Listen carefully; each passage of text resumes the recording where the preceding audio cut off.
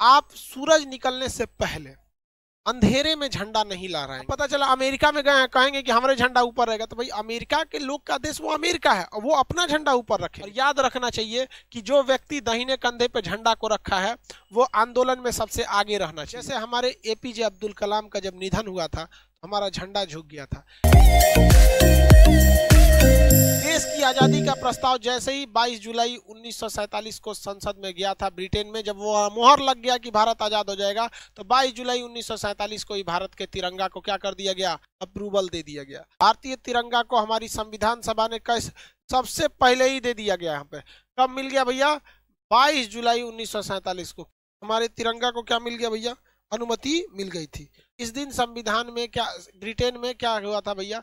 तय हो गया कि भाई भारत की आज़ादी अब फिक्स है तो हमारा तिरंगा हो गया। भारतीय तिरंगे का डिज़ाइन किसने किया? पिंगली वेंकैया। पिंगली वेंकैया ने किया। इसकी लंबाई और चौड़ाई में जो रेशियो रहता है, कितना होता है? आपको पता ही होगा थ्री टू टू लंबाई और चौड़ाई में रेशियो कितना होता है? थ्री टू टू इसके बीच में अशोक चक्र है। एक नीवी नेवी ब्लू का कलर का क्या है? चक्र है। जिसमें कितनी तीलियाँ हैं? चौबीस तीलियाँ हैं। ये चौबीस तीलियाँ किसको दर्शाती हैं? ये 24 तीलियाँ हमें दर्शाती हैं कि हमें राष्ट्र निर्माण के लिए 24 घंटे अथक रूप से चलते रहना है। 24 घंटे हमारी देश का विकास होना चाहिए। इसलिए 24 घंटे को विकास को दर्शाने के लिए जो एटीएम 24 घंटे खुले रहते हैं और हफ़्ता में सातों दिन चलते हैं 24 सेवन इसे लिखा जाता है। 24 four into seven. Twenty four hour हम अपने राष्ट्र निर्माण के लिए बढ़ते रहें। हरा रंग हरियाली को हरा रंग, हरियाली, केसरिया बलिदान का। सफ़ेद रंग शांति के लिए हम कभी किसी देश पे लड़ाई वगैरह नहीं करते हैं। हाँ हमको अगर कोई मारेगा तो हम पूछेंगे ये बात तो कंफर्म है। केसरिया रंग किसे दर्शाता है? बलिदान का दर्शाता है। कुछ लोग कहते हैं केसरिया नहीं होगा, कुछ लोग कहेंगे हरा नहीं होगा। अरे, हमारा देश का तिरंगा सबसे बेहतर है। हरा क्या हरियाली कोई मिटा सकता है?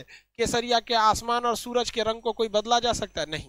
तो देखिए, हमारा जो है बलिदान का, केसरिया एक्चुअली किस चीज़ के लिए? बलिदान के लिए है। हरा रंग किसके लिए? हरियाली के लिए। हमारे देश हरा भरा है भाई। मेरे देश की धरती। इसमें गलती कैसे कर देता है लड़का सब? हम बचपन में छोटे थे तो तिरंगा बनाना था ना।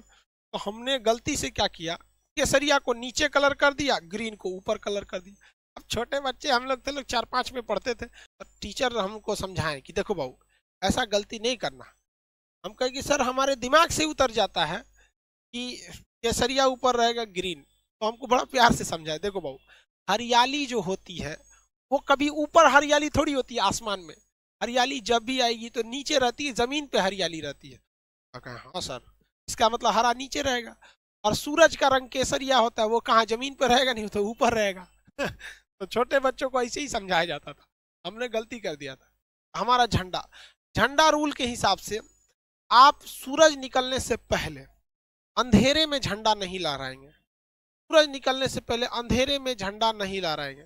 यानी जब भी झंडा लहराना है तो जब सूरज निकल जाए तो सूर्योदय की रोशनी में, सूर्य की रोशनी में हमारी झंडा का तोलन होना चाहिए फ्लैग होस्टिंग एकदम।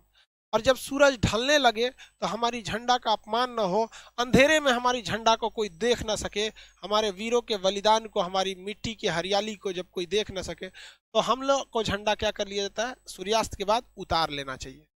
झंडा में नियम है कि जब भी कोई व्यक्ति झंडा में लेके आगे चलेगा आंदोलन वगैरह में तो दाहिनी हाथ उसका ऊपर रहना चाहिए और बायां हाथ उसका नीचे रहना चाहिए। इस तरह से वो फ्लैग मार्च को लेकर चलेगा। यहाँ पे झंडा को इस तरह से। ये नहीं कि दहीन, दहीना दहीना हाथ कहाँ रहना चाहिए? ऊपर रहना चाहिए। राइट हैंड इस तरह से। इस तरह से लेके वो मार्च करके चलेगा। अब जैसे मान के चलिए कि अगर सैनिक हैं, अगर हमारे देश के सैनिक हैं तो सैनिक को परेड वगैरह लंबी दूर तक नहीं रहना। अब मान के चले किसी को आंदोलन करके लेके जाना है झंडा तो उसे क्या करना है? अपनी गाड़ी पर झंडा सबसे ऊँचा रहना चाहिए। अगर आप किसी धार्मिक झंडे को इस झंडे के साथ लगाना चाहते हैं, या भारत में रहकर किसी अन्य देश का झंडा लगाना चाहते हैं तो कोई भी झंडा भारत के झंडा से ऊपर नहीं हो सकता। जैसे मान के चलिए किसी को अपना केसरिया झंडा लगाना है, किसी को हरा, किसी को लाल, किसी को गुलाबी, किसी को कुछ भी तो वो इस झंडे से नीचे रहना चाहिए। हमेशा हमारे नेशनल फ्लैग का रेस्पेक्ट बना रहना चाहिए। हमारे झंडे से ऊपर किसी का झंडा नहीं रहना चाहिए। किसी को कोई दिक्कत नहीं। देश के अंदर। अब पता चला अमेरिका में गए, कहेंगे कि हमारे झंडा ऊपर रहेगा तो भाई अमेरिका के लोग का देश वो अमेरिका है, और वो अपना झंडा ऊपर रखेंगे। तो ये तो बेवकूफ़ी हो जाएगी ना भाई, आपका नियम अपने देश में लगता है। अब एक चीज़ और ध्यान दीजिएगा। मान के चलिए रूस के राष्ट्रपति व्लादिमीर पुतिन भारत में आए। तो व्लादिमीर पुतिन जब भारत आते हैं तो बताइए, उनके सामने उनका झंडा नीचे रखेंगे, हमारा झंडा ऊपर हो जाएगा तो भाई उनको भी तो खराब लगेगा। हर व्यक्ति को तो अपना देश प्यारा होता है। तो जब कई सारे झंडे एक साथ लगे हों तो भारत का झंडा उस झंडे के दाहिने साइड रहना चाहिए। किस, कहाँ रहना चाहिए? दाहिने साइड। मान के चलिए, रूस के, रूस अभी हमारा मित्र है तो हमारा अपने मित्र को तो हम भी नाराज़, निराश नहीं ना करेंगे। नेशनल, भाई सबके लिए इक्वलिटी का बात है। तो जब कभी भी आप अपने देश में किसी दूसरे के झंडे को बराबरी रखते हैं जैसे आप जैसे कोई भी देश आप, पाकिस्तान वालों की बात नहीं कर भारत वाले रूस वगैरह की बात तो हमें क्या करना है उसको राइट साइड में रखना है। अपने झंडे को कहाँ रखना है राइट साइड अगर कोई आंदोलन या जैसे किसान आंदोलन चल रहा है तो किसी को अगर उसमें तिरंगा लेके जाना है और अगर दाहिनी हाथ से उठा के ऐसे थक गया है बेचारा कितना दूर ले जाएगा सैनिक तो है नहीं आम आदमी सैनिक की तो, तो नहीं रहता है तो उसे अपने दाहिने कंधे पे क्या करना है झंडे को ऐसे रखना है। दाहिने कंधे पे झंडे को रख के लेके चलना है। और याद रखना चाहिए कि जो व्यक्ति दाहिने कंधे पे झंडा को रखा है, वो आंदोलन में सबसे आगे रहना चाहिए। आंदोलन में क्या रहना चाहिए? सबसे आगे रहना चाहिए। और झंडा कभी भी ज़मीन से टच नहीं होना चाहिए। इससे हमारे झंडे की क्या हो जाएगी? बेजती होगी। तो झंडा, ऐसे तो उसे दाहिना हाथ रख के झंडा को हमेशा ऊपर लेके रखना है। लेकिन जब कभी भी थक जाएगा तो उसे कहाँ रखना है? अपने दाहिने कंधे पे लेके। और आंदोलन मार्च में वह सबसे आगे रहना चाहिए। ये इस, नहीं तो इस तरह से बहुत ज़्यादा झंडे का अपमान एकदम सरासर गलत है। अरे भाई, जो देश का, जो देश प्रेम नहीं कर सका, उसको खुद को सुसाइड करके मर जाना चाहिए। क्योंकि यार, एक जानवर को भी अपने खूंटा से बहुत प्रेम होता है। जहाँ उसे बांधा जाता है ना, उसे वो बहुत प्रेम करता है। वहाँ उसे गंदा नहीं करता है। और कैसे लोग हमारे देश को लोग उल्टा सीधा बोल देते हैं, हम अपने झंडे का। देखिए, एक जाने अनजाने में कभी हो गया, जैसे कभी हम छब्बीस जनवरी को आप देखेंगे, सड़क पे कभी कोई तिरंगा गिर गया है तो कोई जानबूझ के नहीं फेंका होगा, जाने अनजाने में उसे गिर गया होगा तो आप कम से कम उसे उठा लीजिए। जो अपने देश का सम्मान नहीं कर सकता, उसे नरक में भी जगह नहीं देना चाहिए। उसके लिए नरक से एक अलग नरक बनाना चाहिए तो उसको मरक बनाए उसको। राष्ट्र चीज़ हमेशा आगे रहना चाहिए। लेकिन कभी कभी हमारे देश पे बहुत बुरा संकट आ जाता है। तो जब कभी भी देश पर बुरा संकट आता है तो झंडा को उल्टा लहरा दिया जाता है। भाई हमारे देश का झंडा सबसे अच्छा रहना चाहिए। तिरंगा बातें अलग है भाई। हमारे देश के झंडा की।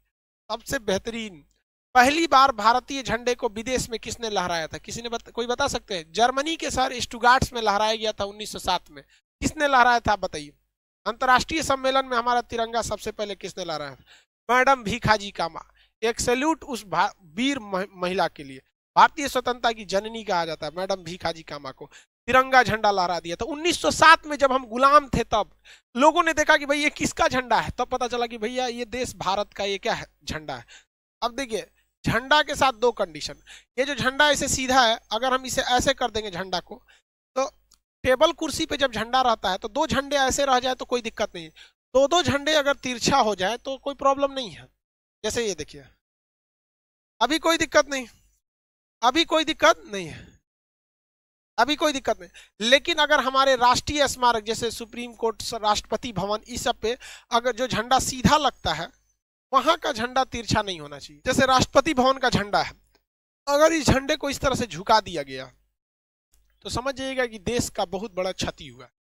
राष्ट्रीय शोक अगर होता है, दुख दर्शाया जाता है कि ऐसा दुख जो पूरे देश को लगा है तो उसमें राष्ट्रीय झंडा झुकना चाहिए। जैसे हमारे एपीजे अब्दुल कलाम का जब निधन हुआ था तो हमारा झंडा झुक गया था। हमारे पूर्व राष्ट्र प्रधानमंत्री अटल बिहारी वाजपेयी जी का जब निधन हुआ था तो हमारा झंडे को क्या किया गया था? झुका दिया गया था।